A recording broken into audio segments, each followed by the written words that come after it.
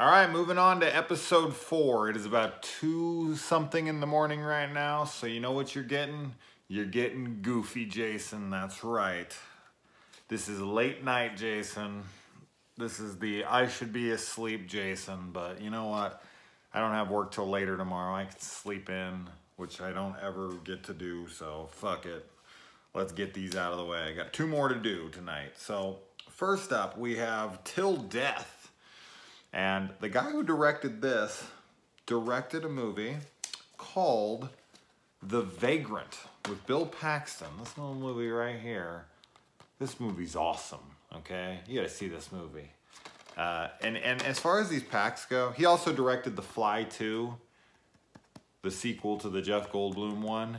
Um, you wanna see the saddest scene of all fucking time? Watch this movie Anyone who's seen this movie knows exactly what I'm talking about. If you watch this movie, you'll know exactly what I'm talking about. I don't even need to say it. Anyone who knows the movie is like, oh my God, is tearing up right now. A tear is falling down their fucking face right now, or many of them. Um, but anyways, as far as these four pack goes, these Scream Factory four packs that they have, the Outing, aka the Lamp, the Godsend, and uh, What's the Matter with Helen, Vagrant, really good stuff. Uh, Dungeon Master, Swell, Cellar Dweller, Catacombs, this movie right here, Contamination Point 7, uh, aka The Crawlers, aka The Creepers, is horrible. I don't care how many fucking names you give this movie, they're all shit. Anyway, um, so these seven movies are worth it. These are like six, seven bucks a piece or something like that. Nine bucks, ten bucks a piece, maybe at best now. They go, they fluctuate up and down on Amazon. But best bang for your buck. I think I made a video of that once many months ago. Uh, they also do sci-fi packs as well. And these are some cool ass movies here. So pick up these. Anyway, let's move on. We're not here to talk about that awesome shit. Um, now this is a love potion episode. I know there's another one of these. It's in an apartment complex. Uh, I, God, I don't. Rem I remember the episode super well, uh, but this one's a little different. Um, but anyway, let's stick to this one. Now, so this guy wants to build land on this this swamp land and it's going to take millions of dollars to build it and he's given everything away to do it and uh, so he meets this woman who has four million dollars in the bank and he needs her to fall in love with him so he can marry her and get all her money and whatever. So he goes to this witch doctor chick who does black magic who he had a relationship with screwed over you know and she's like jaded lover but she's going to help him out supposedly and she gives him the fucking love potion and she says one drop like whatever and two she'll be your you know yours for life. Um so he gives her the two drops and it totally works. She comes back she fucks him out of his mind. He's so happy she wakes up in the morning she's all about him and then he decides to give her more and more so even though it's working, he decided to give her more. And he puts like two drops in and he's like, well, fuck it. If it's doing this much, like I might as well put a bunch in. I don't understand that. That's working. Like, you're good. I, what? fucking people are so stupid. so yeah. And then uh, she dies from this and she comes back from the dead. And I love how easy it is for people to get out of graves in movies. Uh, they always just pop up and she just slides right out. Now, of course, the tone of this episode is pretty silly, so it's not supposed to be realistic in the slightest. But I just, it makes me think of always when, you know, when zombies are coming up out of their graves and it's like, um, yeah, have you ever seen movies like uh, freaking Buried with Ryan Reynolds or uh, Buried Alive with Ally Sheedy, right? They made two of those damn movies. I've seen them both. They're both actually pretty good. Anyway, staying on track. Too many recommendations. People are like trying to write down fucking how many? Too many. That's how many. Um, but yeah, if you ever watch those kinds of movies or if you've ever been buried underground, which I have not, nor do I ever want to be, uh, it's fucking possible to get out of there. I guess unless you got like, uh, you know, freaking the bride from Kill Bill, Beatrix. Beatrix Kiddo, and she's doing her little hand punch, and then she just like digs her way up like 20 feet. That scene's so fucking funny looking. Um, anyway, okay, we're way off track here. Rambles as usual. Um, but I love how, yeah, she comes back and everything's fine, and she's like, I want you to fuck me like five times a day or something crazy, which sounds torturous. That's it's insane amount of times every single day.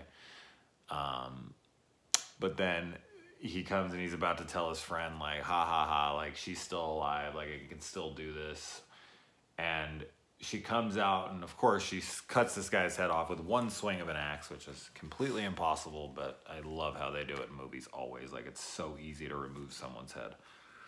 Um, but he sees her and, and, and he just saw her like fucking 10 minutes ago, five minutes ago. And she comes out and she is just like, he says that she's been embalmed.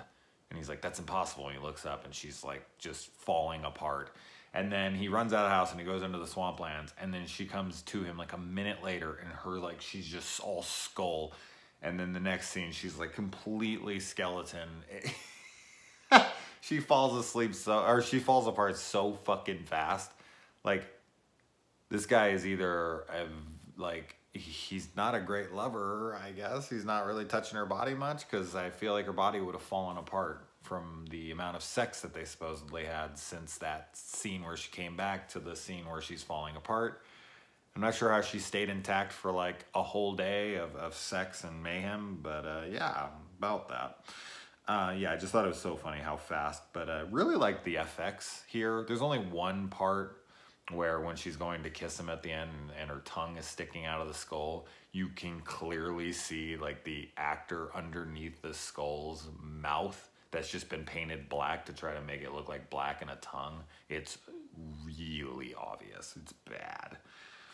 Um, they could have just had a fake tongue and had it like sticking out with an animatronic. I mean, they have like what fucking ten puppet wranglers for the Crypt Keeper. They couldn't get a couple of them to get a tongue. They had to paint a actor's face, really.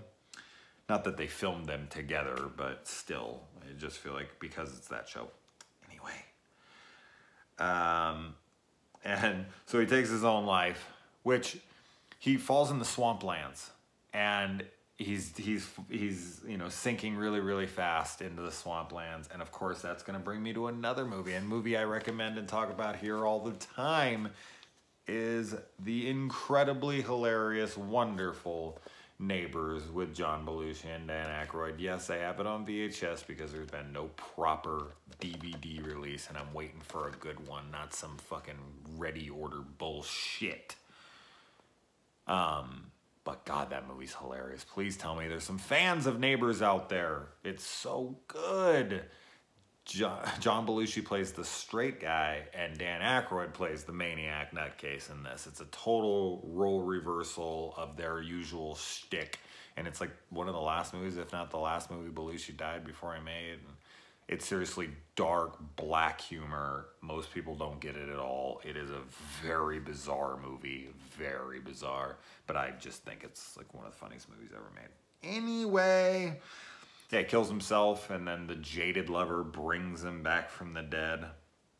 And I love how when they bring him back, you know, he's been brought back from the dead, but they also brought the head of the guy that she decapitated earlier back, and he's just laughing and joking. You're like, ha, like he's gonna get you. Like, he's not taking this bad at all. That a voodoo curse has been put on his severed head, and now he has to live for years or decades or whatever as a severed head. Like he's all about this. This guy isn't the one who killed him. It's the wife. Shouldn't he be mad at her? Like he's why is he uh, why is he happy that this guy is gonna? Did he put she put a curse on the head? This thing is funny. That that he's so into it. It just didn't really make any sense. But whatever. Anyway, all right. I think we're done. My rambling went on for like ten minutes. I thought I was gonna talk about this episode for like five seconds, but. Uh, talking about. I think I talked more about other films that you need to watch than this. Um, it's an okay episode. It's kind of silly. Um, but let's move on, shall we?